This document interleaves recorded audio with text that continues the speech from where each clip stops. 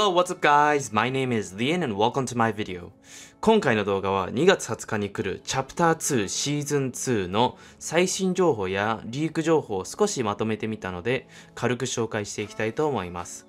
今回のシーズンはマジですごくて日本も含めて世界中で様々なフォートナイトの予告映像が流れたりゲーム内の家具が金色になり始めたりで今までにないくらいみんな混乱してる状態です。さすが2ヶ月支援されたフォートナイトのシーズンはやることがマジですごすぎる。ってことでまあ僕の知ってる情報をこの動画で解説していくんでよかったら最後まで見てください。あとこの情報を踏まえてまあ皆さんの考察、シーズン2がどういうテーマでどういう感じになるのかっていう考察もね気になってるのでよかったらコメント欄で教えてください。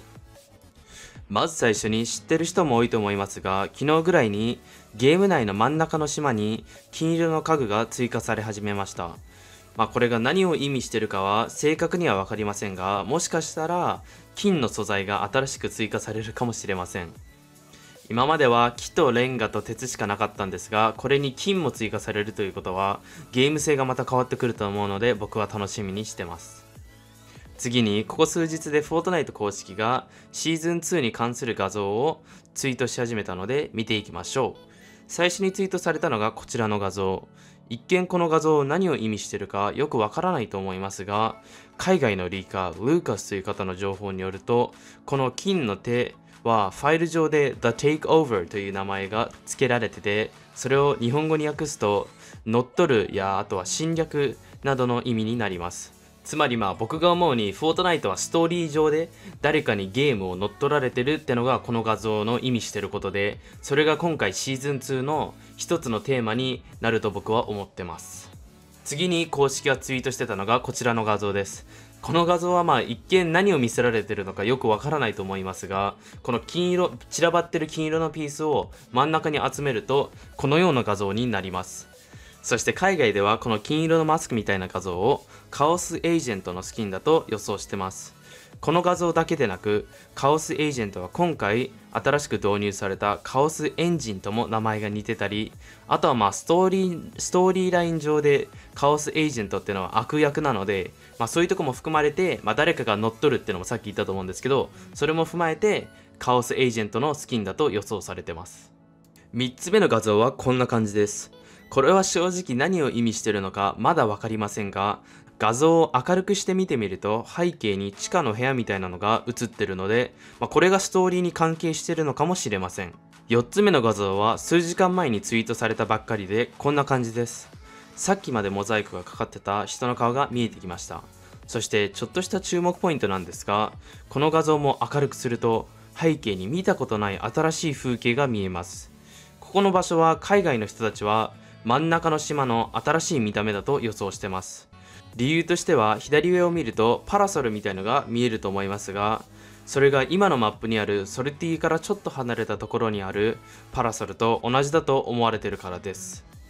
そしてなんと左下を見るとヘリコプターが降りる H のマークがあります。ヘリコプターはチャプター1からずっと乗れないやつがありましたが、それがついに次のシーズンの移動系として追加されるのだと僕は期待してます。以上がとりあえずフォートナイト公式がツイートし始めたリーク画像になりますが、シーズン2が始まるまでまだ2日間があるので、その間にもっといろんなツイートがされると思うので楽しみです。そしてこれらの情報や画像を見ると、やっぱりシーズン2は金が一つのテーマとしてくるのがわかると思います。そこで思ったのですが、1ヶ月ぐらい前にフォートナイト公式が次のシーズンについてのブログを書いてたんですが、その画像を見せたいと思います。あの時はこれが何を意味しているのか、誰もが分かんなかったと思うんですが、今考えてみると、この横棒の色が金色なので、ちゃんとヒントがあったんだなと思い、改めて運営の凄さに、運営の凄さを実感しました。次にちょっと前から世界中の場所でフォートナイトの映像が電話番号付きで流れてたのでその話をしていきたいと思います。日本でも東京の渋谷でこのような映像が流れてたみたいです。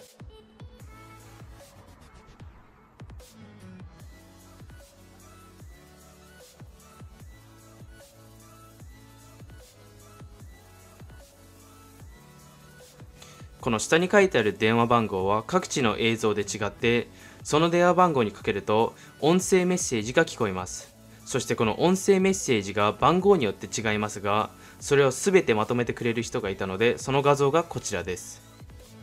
これを見てわかる通り様々なところでフォートナイトの映像が流れてました。そして右にあるのが音声メッセージで言ってたことです。まあ、これが全部英語になっちゃってるんでそれをなるべく皆さんに分かりやすく僕が日本語で翻訳していきたいと思います。上から見ていくとまず最初に Yes sir The agents were called. Car to access the safe was obtained. って言ってます。ここで言っているセーフとは僕の予想だとバンカーのことです。日本語で言うとまあ遠平号。でちょ今 Google で調べたんですけど多分遠平号ってやつです。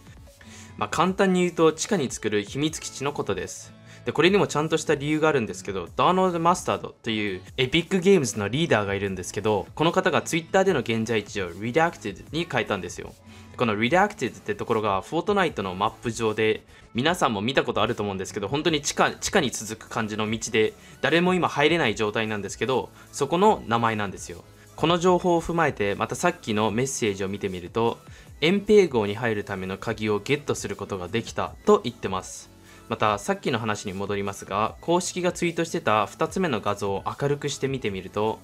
背景に地下っぽい感じの場所が見えるのでこれがもしかしたら遠平号につながってるのかなと個人的に僕は思ってます。そして2つ目のメッセージが Agency Recruitment Drive is a go Happy Hunting Agents Agents Oil Rig Operation is a go って言ってます。でこの2つ目のメッセージなんですけど普通に聞いてると Oil Rig Operation ってのがちょっと何言ってるのかよくわからなくてオイルがまあ石油とかそっち系なんでそういう話をしてるのかなと思ったんですけどこの3つの言葉の頭文字を取って略すと ORO になるんですよ。でこれがなんとですねスペイン語で ORO はゴールド金を意味してます。いやでもこれ本当にすごいですよね。僕の友達スペイン語喋れる友達に僕これ最初聞いたんですけどマジでびっくりしました。なのでこの2つ目のメッセージはシーズン2のテーマが金ってことを証明しているものだと思います。3つ目のメッセージは During ID scanning access denied agency communication was interrupted って言ってます。これはまあ簡単に言うと ID 検査で拒否されましたって言ってるので、まあ、普通に残念ながら拒否されちゃったから、まあ、それだけですよって話だと思います。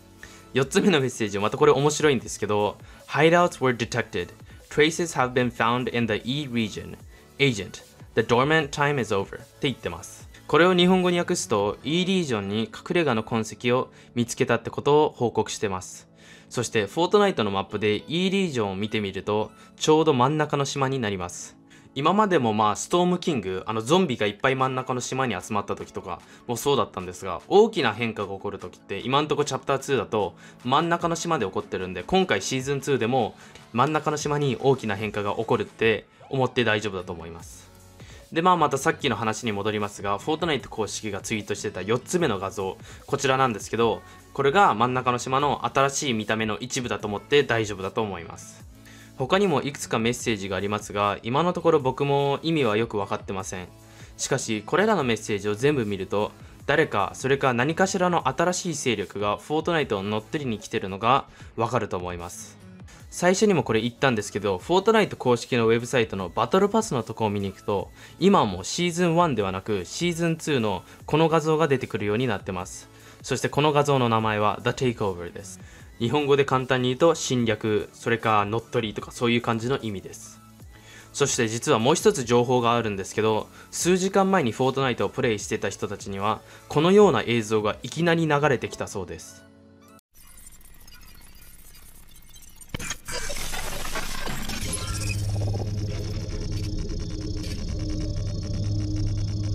これもまた誰かしらがフォートナイト公式をハックして乗っ取りに来てるって意味を表してると思います。なので今のところ分かってる情報をまとめてみると次のシーズンチャプター2シーズン2のテーマは金と誰かがゲームを乗っ取りに来てる感じだと思います。皆さんはこれらの情報を見てどう思いますか？様々な考察などを見たいのでよかったらコメント欄で教えてください。今回も最後まで見てくれてありがとうございます。バイバーイ。